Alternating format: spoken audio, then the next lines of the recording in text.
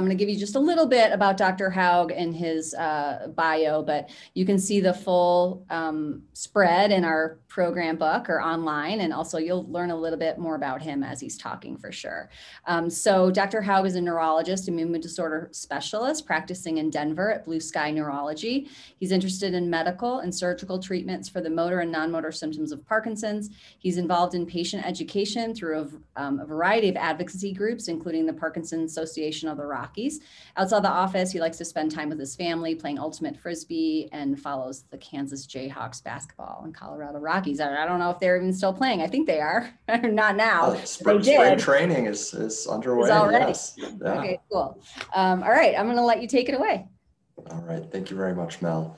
Uh, looks like my slides are showing okay, so I think we're good to go. So, well, I'm honored to be here with the Davis Phinney Foundation. I love these venues where we're able to talk about some basic as well as advanced concepts related to the treatment of Parkinson's. And what I'll be talking about in this recently diagnosed Victory Summit today is some of the, the basics of the medical management of the motor symptoms of Parkinson's. And I'll talk about what that means.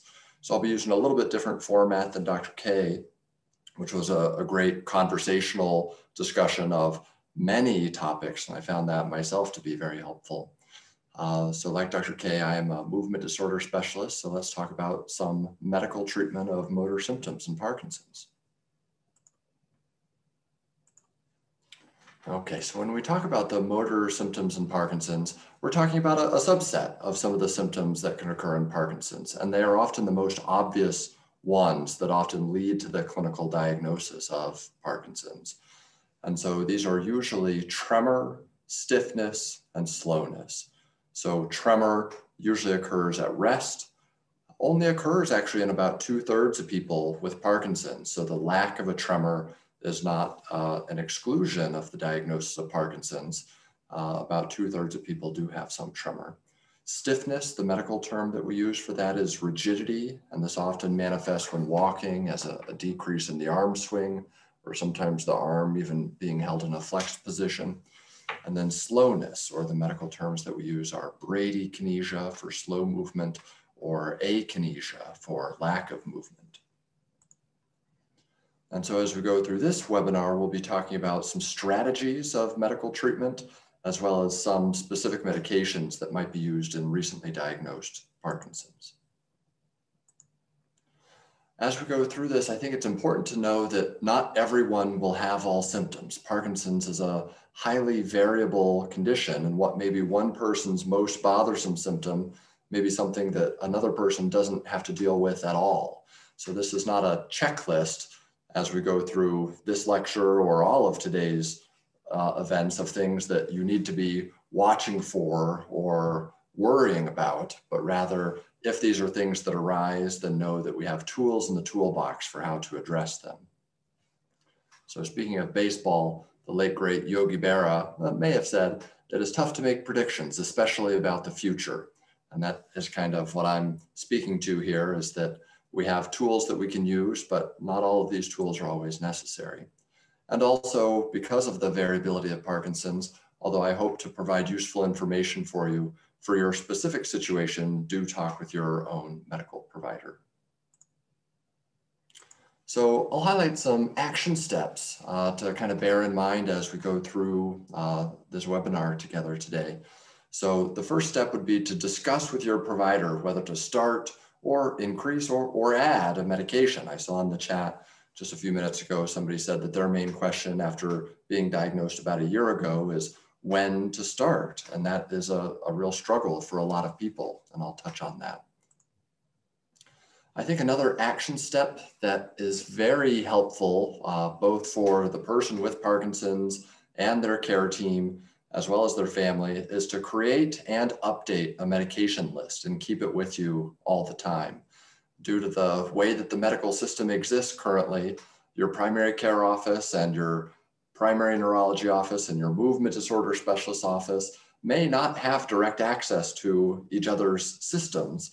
And even if they do, what you're actually taking, what you're actually putting in your mouth, you're the only one that knows that.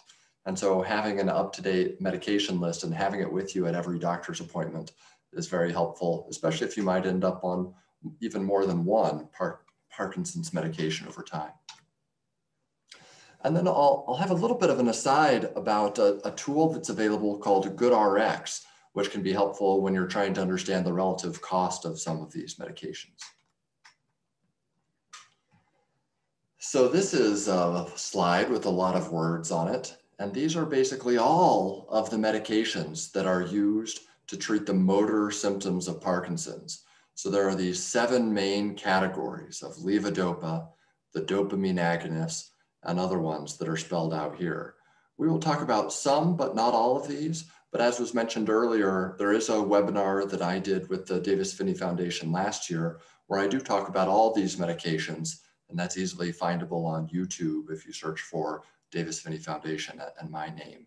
Uh, so if this only whets your appetite, what we discuss here today, then uh, there's more available for you. So what I would like to talk about today are what are the meds that are most commonly used among people that have been recently diagnosed.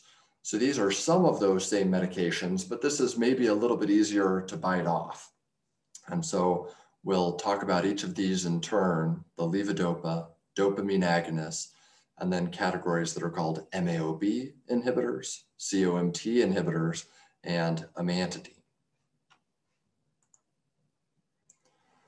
So there's so much information, and some people may have felt like this in the past or may still feel like this.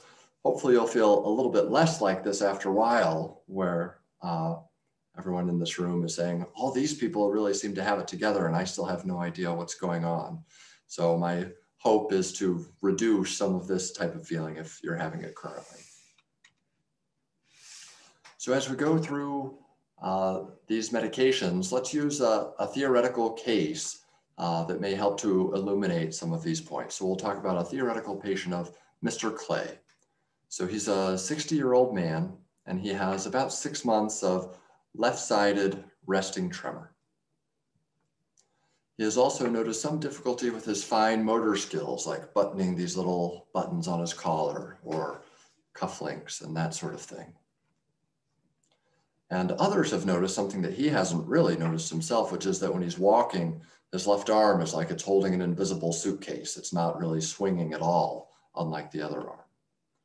And so he goes to see a neurologist. And as many of you have discovered is the case, it is often a clinical diagnosis made based on what symptoms you're having and other non motor symptoms that we may ask about, like constipation, dream enactment behavior, your sense of smell.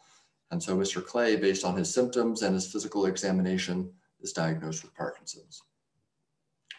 This leads to an avalanche of questions, one of which is, should I start medication? And this actually contains a number of related questions underneath it. What does medication help? How much does it help? What side effects might I have? How many times a day am I going to have to take this? What might the medication cost? And so I'll help to sort these things out. So the context is very important. No two people with Parkinson's the same and no two people's situation is quite the same. So the guiding light when we're talking about the treatment of symptoms in Parkinson's is quality of life and optimizing enjoyment and function and doing what you want to do and what you need to do. And so taking the context into consideration, we consider that Mr. Clay, he's working full time. He's an engineer and he occasionally has to give presentations at work and the tremor can be embarrassing, especially if he's holding a laser pointer, which really augments how visible the tremor is from across the room. On a day-to-day basis, he notices some soreness and stiffness in the arm, which seems to be from how much he's shaking. And because of overall his movement difficulties, he's found that he used to exercise, but now he's not doing that as much because it's more difficult. So this is the context that Mr. Clay is working with. And so now circling back to the question of should I start a medication, based on his symptoms and his overall situation in life and how bothersome his symptoms are, I would recommend that he start a medication. Follow-up questions to that. Well, shouldn't I wait till my symptoms are worse? I, I mean, I can put up with the tremor the way that it is now. And also, I've, I've heard that medications only work for a few years. Am I using up my options if I start medication now? Regarding the question of shouldn't I wait? The answer is usually not. There's research that shows that postponing treatment mainly accomplishes decreasing your quality of life. And although you might think that you can save the medication for a rainy day, in fact, the effectiveness of the medication in the future is not going to be as great as it might be now. Because as Dr. K was saying, the, the nerve cells, the brain, is continue to experience this, the progression of the disease, regardless of whether you're on medication or not. And so if symptoms are impairing quality of life and function, we typically recommend starting treatment. Well, what about, I heard that medications only work for five years. This is kind of the same story from a slightly different angle. It is true that medications work best in the early years of having Parkinson's. And working best in this case means fewer of the ups and downs, fewer of the motor fluctuations, as we call them, and also a lesser likelihood of dyskinesias when you've been on medications for fewer years. But this has as much to do with how many years you've had Parkinson's as it does with how many years you've been on medication.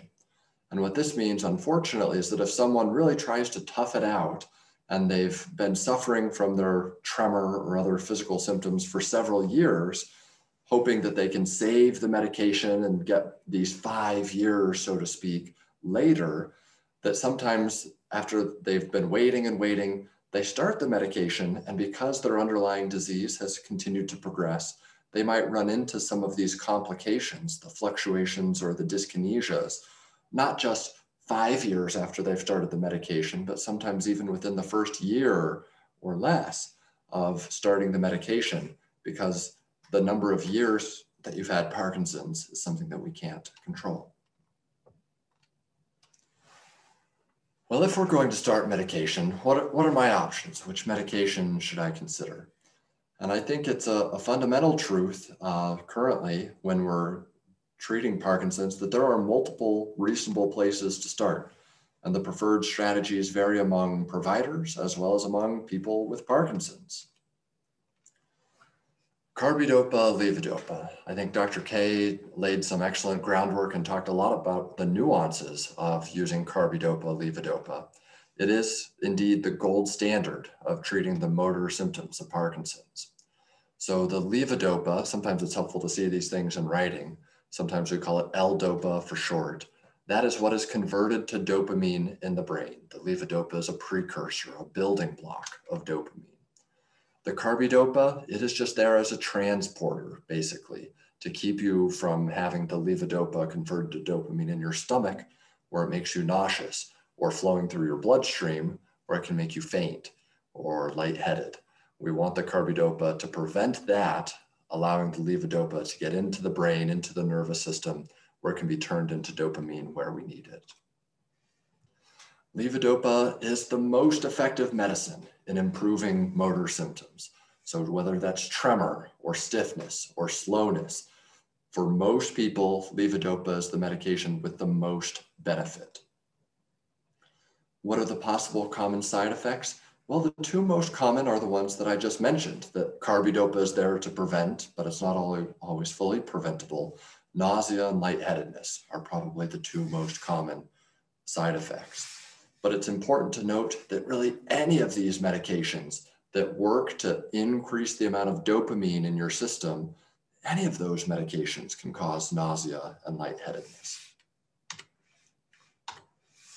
So when we talk about carbidopa, levodopa, there's actually several options. And for our purposes today, I'll point out that generic carbidopa, levodopa is by far the most commonly used the old brand name of carbidopa, levodopa, Sinemet, we don't actually prescribe that brand name medication very often because it's more expensive and the generics accomplish the same thing.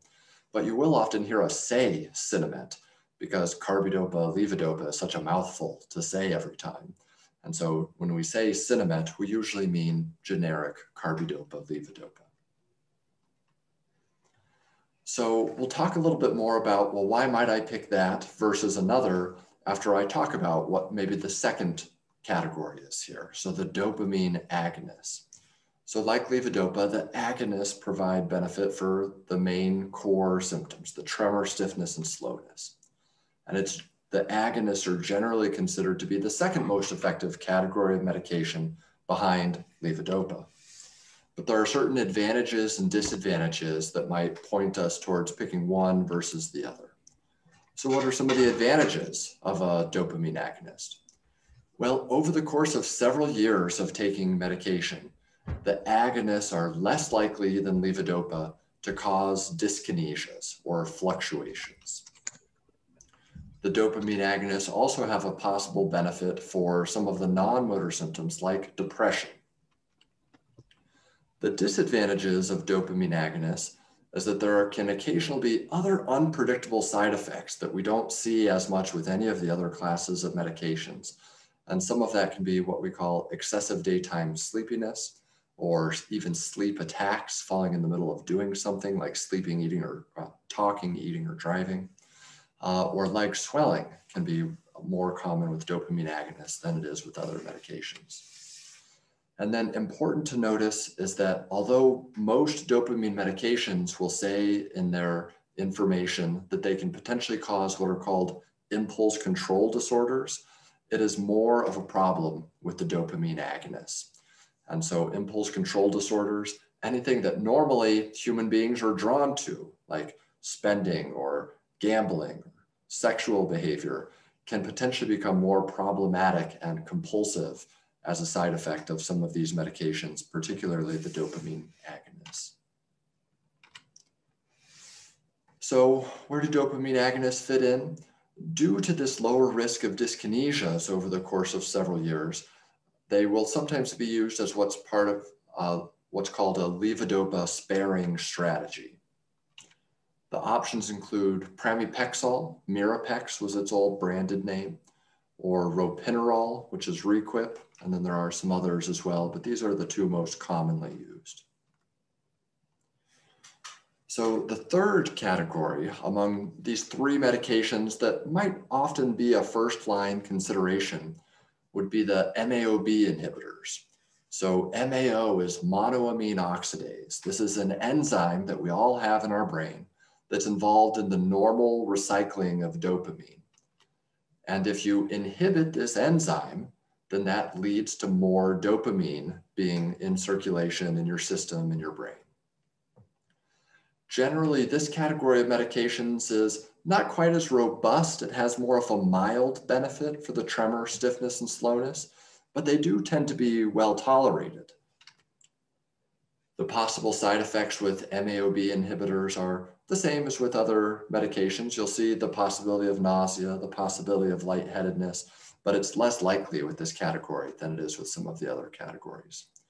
So this might be used often alone in early Parkinson's if the motor symptoms are fairly mild, or it might be used in combination with other medications in later stages of Parkinson's. And as I mentioned, because there are fewer side effects, this is a medication that can often be used in people who are older. I didn't mention on the previous slide about the dopamine agonist, but this sudden sleepiness or the leg swelling, those are more problematic in older populations. So while I might be somewhat more likely to use a dopamine agonist in someone who's 50 or 60, if someone is 70, then I'm, I'm less likely to use that category of medication because of those possible side effects that can occur. So when we talk about what are the options within the MAOB inhibitor category, the two most commonly used, the two most widely available are probably selegiline, which used to be called Eldepryl as its branded name, or rasagiline, which had the old branded name of Azilect. So we've talked about some of these three different categories that might be used as a first line medication. What should we do for Mr. Clay? So we talk about levodopa, the dopamine agonists, and the MAOB inhibitors. And based on the fact that his symptoms are affecting his ability to work, we decide to start with the gold standard, the carbidopa levodopa. And a typical starting dose, you might write, ramp up to this over a week or two, 25 slash 100 milligrams, three times a day. So let me have an aside here about, well, what is the cost of medication? This is something that honestly physicians are sometimes unaware of because what medications cost is a complicated formula, a complicated interaction between what's your insurance plan, what pharmacy are you using, what contract does that insurance company have with that pharmacy? It can be a real maze. Some Parkinson's medications are inexpensive and others are expensive. The cost may vary by insurance and by pharmacy. And so there's this tool, a free tool called GoodRx that can be useful for comparison. And sometimes the GoodRx can actually be something that you use instead of your insurance and possibly get a lower cost than you get with your insurance, strange as that may seem. So this is a free service and there's no subscription required. Apparently they make their money by the ads that are on the sidebar of their website. And this is available either online or through the GoodRx app that you can get on any smartphone. So I'll give, just give you a brief example of how this might work. So here I, have pulled up goodrx.com and across the search bar here, you can type in carbidopa, levodopa, since that's what we're starting for Mr. Clay. And then here's a, a partial screen image of what you would see. So carbidopa, levodopa, which is generic for either Parcopa or Sinemet. And you look at a couple of the most inexpensive pharmacy options, City Market or King Supers, it says if you're doing 90 tablets, which would be a typical one month supply, then even if you had no insurance, but used this GoodRx free discount card that you can get by clicking on that green button and either printing out or showing to the pharmacist on your phone, then a month prescription would be $14. Now they may run your insurance and say, oh, with your insurance, it'll be $4, in which case just go with that. The caveat is that if you use GoodRx to get this $13.95 discounted price, then it's not using your insurance at all. And so it's not counting towards your deductible. So there's a lot of nuance that goes into navigating the healthcare system, unfortunately, sometimes. And so if you click on that little green button, then it will show you something like this. And the pharmacist will say, okay, well, I ran your insurance. You could say, well, could you run this uh, instead? And they would type in this code and this group and this bin number. And they would say, oh yeah, we can give you that 13.95 price instead of, for some reason, your insurance was going to cost say $20, charge say uh, $20. So the GoodRx could maybe save you some money in that example. Don't print out this one. Uh, this is just a sample. You would actually go to the website and, and enter the prescription specifics of what your prescriber has uh, prescribed for you. So in our case, Mr. Clay starts the carbidopa levodopa, and initially he does have some nausea. Maybe about a third of people will have some nausea when they first start taking the medication. It was mentioned earlier that taking the medication on the empty on an empty stomach is ideal for making the medication as effective as possible, which we often think to mean at least half an hour before you eat a meal or at least an hour after you eat a meal. So if the meal is the event, the medicine should be at least a half hour before or at least an hour afterwards. This is especially the case if you're going to be having a protein heavy meal like eggs for breakfast or chicken for dinner, because proteins in the diet are broken down into amino acids, which are transported into the body by amino acid transporters. Well, levodopa is also trans, transported into the body by amino acid transporters. And so if your gut is busy working on the steak and eggs that you had for breakfast, then some of that levodopa may pass right by the first part of the small intestine without being absorbed. But what you can do if nausea is really a significant problem is you can take it with a little bit of non-protein heavy food. So crackers or fruit or some juice that can sometimes help to settle the stomach without uh, reducing the effectiveness of the medication. And within a week, lo and behold, he gets what we want. He has significant improvement in his tremor as well as in his coordination. So as we go along over time in Parkinson's, it often becomes a matter of what's bothering you? What are the tools in the toolbox that we have to treat that? And what are the pros and cons of utilizing those tools? So in our case, after a few months, he notes that his tremor has improved, but it's still bothersome some of the time, especially when he's stressed, like if he's giving one of those presentations with a laser pointer. And so what might we do? He's on this dose of carbidopa, levodopa, three pills a day, kind of the standard starting dose. Well, increasing the dose would be one reasonable option. Or another option would be adding a medication from another category. Dr. K touched on what is a really important point in my mind as well, which is that there seems to be a tipping point where Dr. K mentioned 400 milligrams a day, which is four pills it seems like if you go from three pills to four pills of the carbidopa levodopa, then you've crossed that tipping point and the, the complications of dyskinesias and fluctuations, though that time horizon of those complications comes a little closer. So what a lot of us would do is symptoms are very bothersome. Let's start a very effective medication, but let's maybe only start with three a day of Sinemet and not just ratchet the dose higher and higher, but maybe use one or two other medications to all work together so that we can stay shy of that tipping point where the complications uh, come closer on the time horizon. And so multiple approaches can be helpful here. If we started levodopa first, as we did, then adding a dopamine agonist could be helpful. Or if someone had started a dopamine agonist first and they're still having bothersome motor symptoms, then levodopa might be added second. Or we might add a booster to carbidopa levodopa. Or lastly, we might add amantadine. So let me talk about each of those a little here. So when we talk about boosters, I mentioned the MAOB inhibitors. As already mentioned, these are this enzyme is involved in dopamine recycling.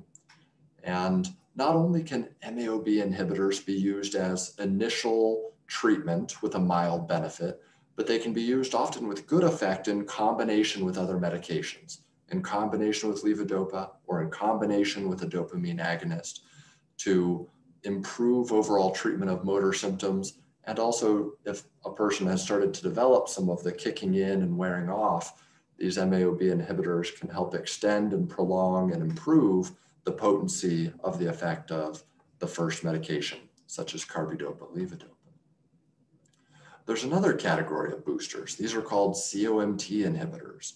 So catechol O methyltransferase is another enzyme.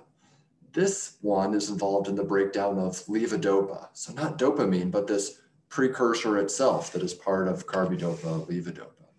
So COMT inhibitors are only used in combination with carbidopa levodopa because they don't have any effect on their own.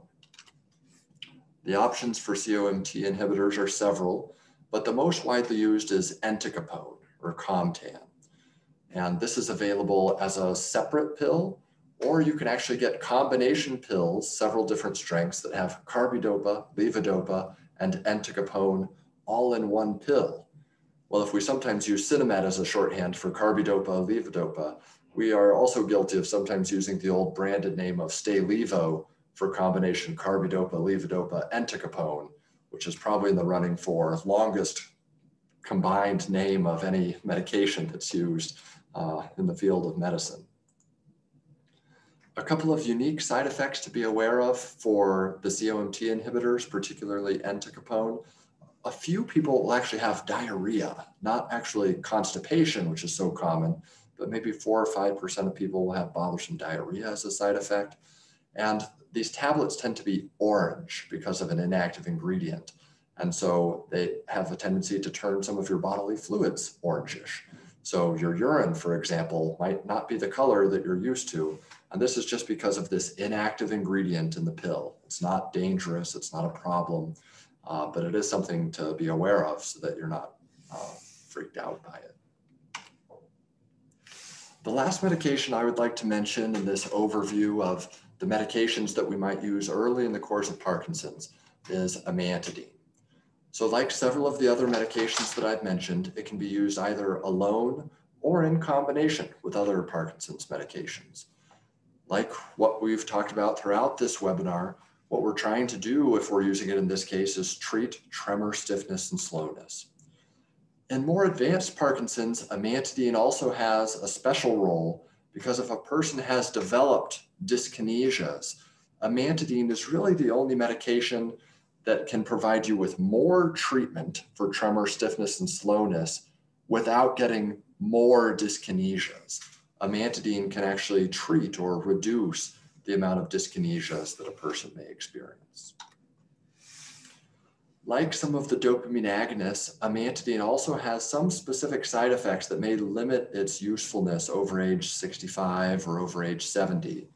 It has what we call anticholinergic side effects, which can include dry eyes, dry mouth, worsening of constipation, and sometimes even hallucinations as a side effect. So what do we do for Mr. Clay? He continues to take carbidopa, levodopa three times a day. And in addition, he adds rasagiline, one milligram once a day. And with this combination, he has better tremor control from either than he would from either medication separately on its own. And as time goes along, depending on whether he's having tremor or hopefully only years later, dyskinesias or other motor symptoms, we might be looking at adding or increasing medication as the situation warrants. So to recap the action steps from this webinar, I would say to maybe take some of the information that you've gained here or from the full length medication webinar that's available online to discuss with your provider whether to start a medication or to increase or add medication. Keep an up-to-date medication list. And if medication cost is something that you want to be more educated about, or if you're having a medication that is more expensive than maybe your doctor expected it to be or you expected it to be, you might look at GoodRx and see if you could get a better deal at a different pharmacy or by surprisingly using GoodRx instead of uh, your insurance in some cases. So the optimal treatment will depend on a number of factors, including symptom severity, age, possible side effects. And so working with a practitioner who's experienced in treating many people with Parkinson's that we've seen these nuances of how these different strategies play out uh, can be very helpful. So I think we have some time for questions at this point. So thank you very much. Excellent. Okay, we do have questions. Um, so can carbidopa levodopa help with cramps in the feet and calf and even the stomach? And, and what is what is going on in like people that feel that sort of cramping in the stomach? Aside yeah. from constipation? yeah, so I would address those two types of cramps separately. So cramps in the feet and the legs uh, is often a Parkinson's symptom that we call dystonia. And that is more likely to occur when a person's medications are wearing off. And so carbidopa, levodopa, or all of these other medications potentially can reduce cramps by reducing the amount of off time or the amount of motor symptoms that a person has. Uh, if the cramps fail to respond to that, then we sometimes have more advanced treatments, such as using muscle relaxant medications or sometimes doing injections of muscle relaxants like Botox directly into uh, the leg muscles. In, terms of the abdominal cramps, that's a, a different set of concerns. It may relate to the fact, like Dr. K was mentioning, that the stomach can kind of uh, become sludgy uh, due to the slowing of the GI tract that occurs as part of Parkinson's and sometimes worsened by medications. So treating constipation is important there. And sometimes side effects of medication can be abdominal cramps, kind of on the spectrum of also causing nausea. And so sometimes taking it with a little bit of crackers or non-protein food, like we talked about, can be helpful, or taking less medication at each time, spreading it more times throughout the day there's a number of strategies that might be considered. Okay, great. So um, a couple of questions, a couple of people have asked questions related to fatigue. And then you mentioned um, excessive daytime sleepiness or sleep attacks. So first of all, it, can you talk a little bit about what's going on with the fatigue for somebody with Parkinson's? And then somebody's asking, um, do dopamine agonists cause side effects in people who, who already have, like they're already sort of have that daytime sleepiness? Is that something that would prevent you from prescribing it to somebody who's already challenged with that?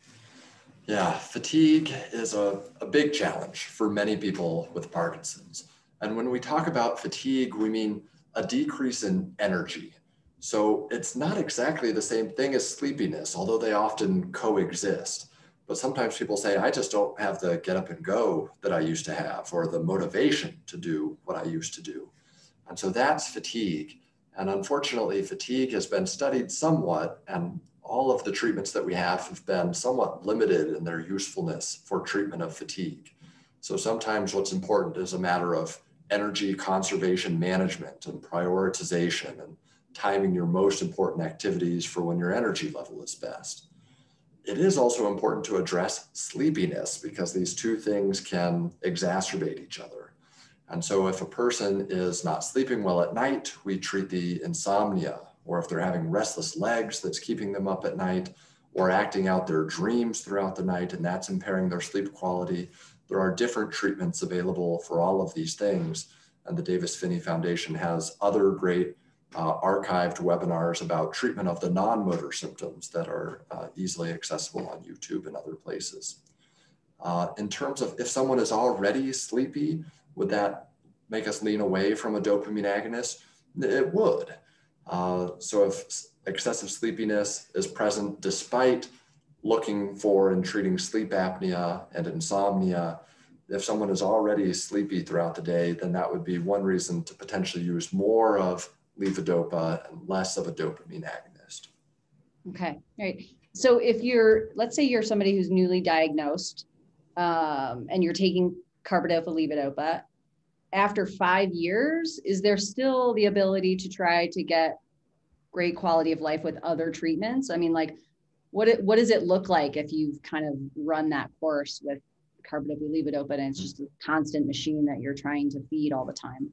Um, how can you, uh, you know, retain quality of life long, long after you started mm-hmm. the meds? Yeah. Uh, so I would say that the way that most of us think of carbidopa, levodopa, is that it is the cornerstone of treatment. And so after years, a person may develop dyskinesias or fluctuations, but we usually continue to use that cornerstone of treatment because it is the most robust medication for the tremor, the stiffness, and slowness. And if a person is starting to have more fluctuations, then we might buttress that with the boosters or with some amantadine if there's dyskinesias. It is not that the medication stops working after five years. The carbidopa levodopa is still the best medication that we have, but we sometimes need to augment it and buttress it with additional medications to try to fine tune and optimize a person's motor ability throughout the course of the day. Um, do these, do any of these drugs actually slow the progression of PD? Uh, I, I wish that they obviously did. I wish we had good evidence that showed this medication not only makes you feel better, it also slows the progression. The one thing that does have evidence that it slows disease progression is exercise. And so, what I will often say is that the medications can make it easier for you to move, and then you have to move. There, there, was, there were a couple of trials where the medications almost showed that, oh, this does slow disease progression. And one of those was for rasagiline, one of the MAOB inhibitors. And so I will sometimes think, well, because it maybe slows disease progression, if we're going to be using it for other reasons, or if we're kind of in a 50 50 situation between a couple of options, that might lean me towards adding that sooner rather than later because maybe it does. But the science hasn't ever really been able to show it conclusively. Great.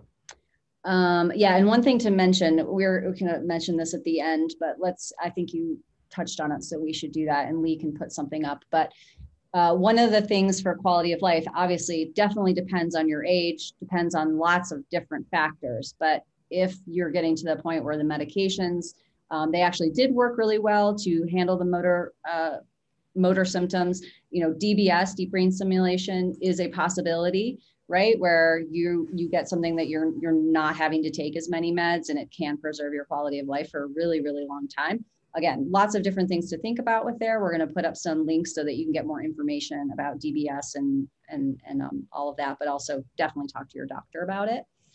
Um, one thing I definitely want to touch on, just because a lot of people have asked over the time, is it is it safe to get co- uh, COVID shot a, a um, vaccine when you're on Parkinson's meds? Uh, the answer is definitely yes. And I've had hundreds of people ask me if they should get the vaccine, and I've said yes to every single one of them.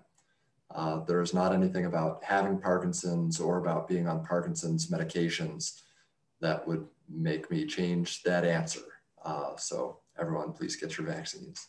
Right, right. Um, let's see. Oh, somebody saw great. Um, well, somebody said they were prescribed clonazepam at night after taking carbidopa levodopa 1.54 times a day.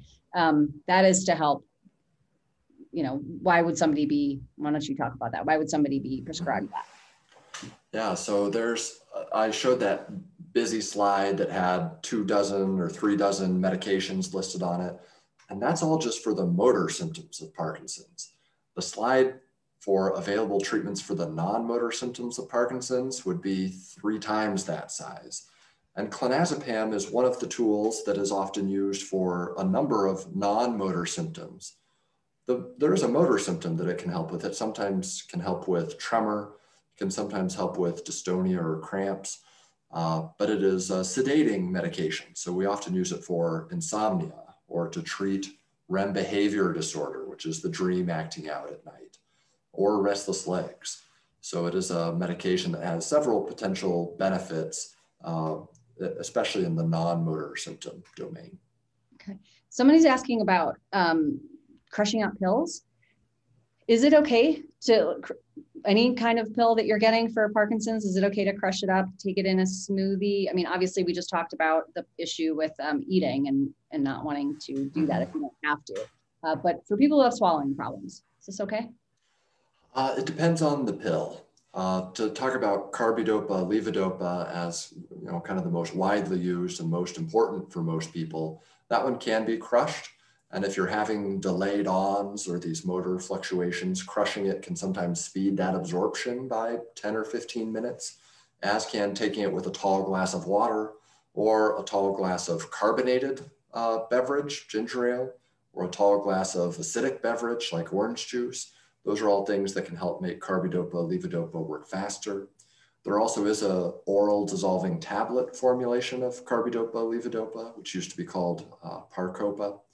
Uh, some of the other medications, it will depend whether they can be crushed, especially if you're on any extended release formulation of carbidopa, levodopa, or a dopamine agonist. Those typically should not be crushed. So that would be something to discuss specifically with your provider who's prescribing them. Okay, great. Quick question. Um, did you say that you do not recommend rasagiline as a solo med? Uh, I don't think I said that. I, I wouldn't have meant to have said that. Rasagiline can be used as a solo medication. It tends to have kind of a milder benefit. I will sometimes say that if Sinemet is 10 out of 10 on the efficacy scale, I usually give the Rasagiline, Azilect, or the other MAOB inhibitors like a four out of 10. So they certainly have a role. They can still benefit motor symptoms and they often have fewer side effects. Uh, but if a person only has mild motor symptoms, then they can be used early as uh, solo therapy. Great. Okay, last question. Um, like I said, we have a lot of more um, content with Dr. Haug, and we'll send those to you uh, for anything that we didn't get to today. Um, there's a lot of great content. So somebody, a couple of people have asked this question about how much can you vary the timing of your daily doses? Let's just say it's carbidopa levodopa um, to match an active lifestyle. So a couple of people have mentioned that they kind of each day looks different and they might not take their pills at the same time each day. Is that an issue? Yeah, good question. I would say that there's a couple of different ways that this comes up. Uh, it's particularly for people that have been on medicine, have had Parkinson's for a few years. And sometimes they say, I don't notice if I miss one. Is it a problem if I miss one? And it doesn't seem to matter if I take them four hours apart or eight hours apart. I just kind of feel fine. I kind of feel the same all day long. And I've, especially because there's now more advertising about on off fluctuations because there are some new, some expensive medications specifically for the treatment of motor fluctuations. I have to tell people it's kind of a good thing that you don't feel your medicine kicking in and wearing off. It means that you're still uh, buffering enough of your own dopamine uh, that the medication just kind of works all day and it's not crucial whether you're taking it four, six, or eight hours apart. We may have to deal with kicking in and wearing off a few years from now, and we'll cross that bridge if we come to it. And then if a person is noticing, boy, my medicine normally lasts five hours, but if I'm out skiing, seems like it only lasts three hours. This is a common experience that people have. And you'll need to tailor a, a program with your prescriber of, well, can I take an extra one or two of my medication on those days? The answer may be yes, but that would be important to get an individualized response from the prescriber for. Okay, great. Well, as usual, this is fabulous. Thank you so much. You're so clear and practical and articulate, and it's so much what people need um, as they're starting to learn about Parkinson's. And I just could not thank you enough for being here with us today, as always. Um, so thank you. Thank you very much for having me. It's a pleasure. Hello, my name is Claire Harritz, and I'm the Development Officer at the Davis Phinney Foundation. I'd like to invite you to join us in our work that is helping so many people with Parkinson's live well today. Please consider making a gift by clicking the link above or by calling 303 953 4978. You can learn more about other ways to support the foundation on our Ways to Give page at dpf.org. Thank you and be well.